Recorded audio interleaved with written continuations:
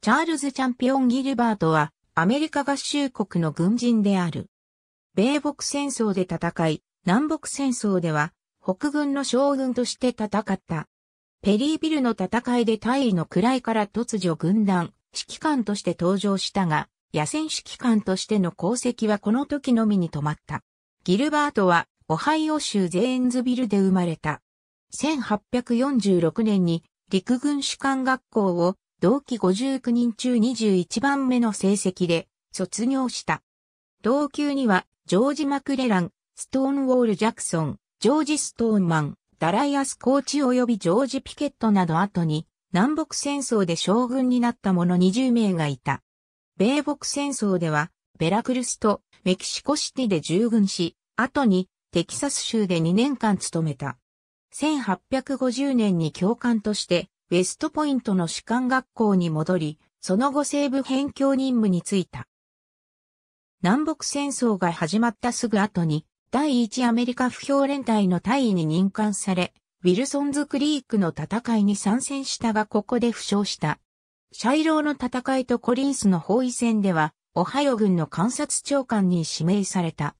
南軍のハートランド構成の時、ウィリアム・ブルネルソンのケンタッキー軍がオハイオ軍に付加され、その第三軍団となった。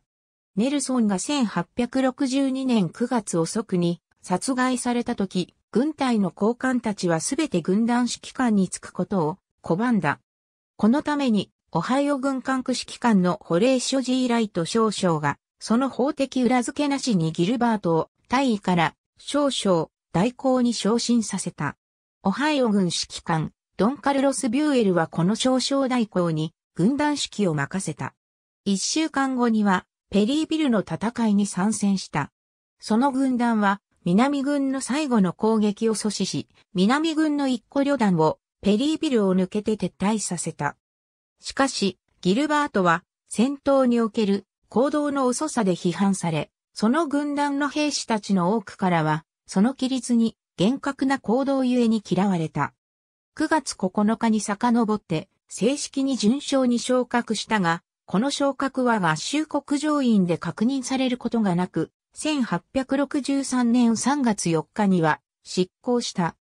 こうした事情にもかかわらず、第19アメリカ不評連隊で少佐に指名され、正規軍の名誉大佐となり、コネチカット州ハートフォードの憲兵司令長官補となって戦争の残り期間を過ごした。ギルバートは1886年に退役するまで辺境任務についていた。1903年、メリーランド州ボルティモアで死に、ケンタッキー州、ルイビルのケーブヒル墓地に埋葬された。北軍のサミュエル・エー・ギルバート准将とは兄弟である。ありがとうございます。